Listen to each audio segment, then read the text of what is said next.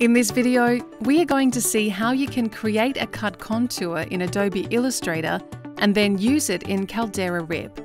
This tutorial is divided into three sections, which are completely independent.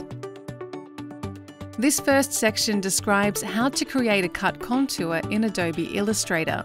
For this example, a vector illustration has been chosen. Launch Adobe Illustrator. Select the whole image and copy it. Then click Paste in Place. Select the Unite Shape mode. After that, you can open the new swatch window. The cut contour name is preferred, otherwise it will not be automatically detected as a contour. The colour used must be set as a CMYK spot colour with a value. Also, Caldera advises you to use the following settings. In the Attribute window, enable Overprint Stroke. In the Stroke window, set the weight to 0.1 to avoid double cuts and align the stroke to centre. Click on File, then Save As, and save the file as an EPS or PDF.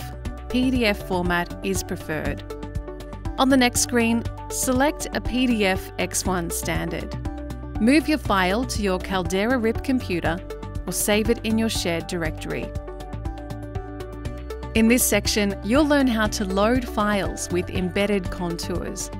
When loading a PS, EPS, or PDF file, FileMan automatically loads all of its vector paths during the preview process. FileMan displays, before the import, the embedded spot colors and vector files. Each contour is linked to a spot color and has a particular name that is recognized by FileMan. Be careful, do not check the box placed in front of your contours. They will be included in the image and you won't be able to use them for cutting anymore. By default, only contours beginning with cut contour are recognized as contours, but other names can be set up to be recognized as well.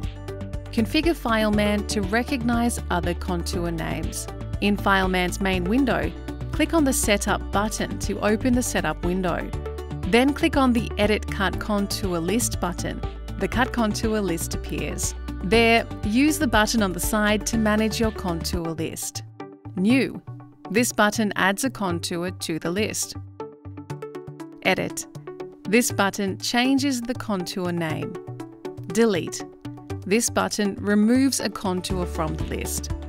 If you type a name followed by a star, every contour which begins with this name will be recognised by FileMan.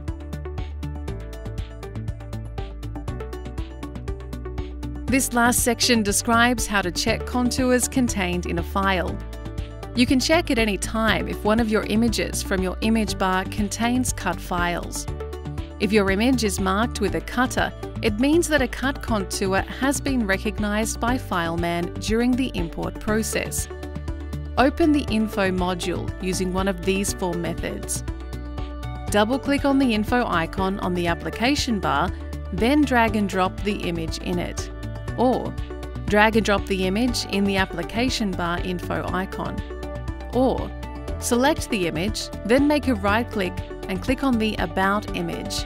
Or Select the image, then use the shortcut Alt-A. Then, select the Contours tab. There, you can see the list of the contours included in your image. If no line is written, no contour is linked to the image. If you need any help with our software, be sure to visit our Caldera Desk Knowledge Centre.